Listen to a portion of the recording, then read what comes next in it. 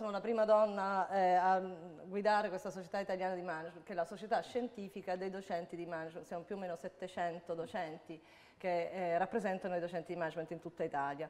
Ehm, quanto è stato difficile? In realtà credo che i tempi siano maturi, siano stati maturi, eh, non so se è stato il Covid o cosa, però si sono messi insieme diverse cose. La, il famoso allineamento astrale. Un, un, allineamento astrale che però non è, cioè poi noi lo sentiamo, l'ho sentito dire da tante manager che sono arrivate diciamo, a rompere quel tetto di cristallo, quindi sono delle cose che sono abbastanza tipiche.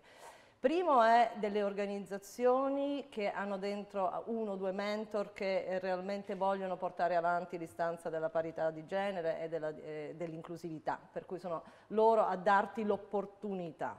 Dall'altro lato un set valoriale di queste organizzazioni, nella quale diciamo, io avevo contribuito tanto, ma così come tante altre persone, un set valoriale che è aperto, è inclusivo e vuole ehm, diciamo, mettere a frutto e valorizzare il talento delle persone indipendentemente da, dalle loro caratteristiche poi specifiche. Le ragazze laureate riescono ad accedere al mondo del lavoro molto più velocemente rispetto ai loro colleghi maschi.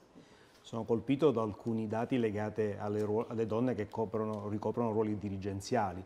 Oggi sono circa il 21%, sono il doppio rispetto al 2008.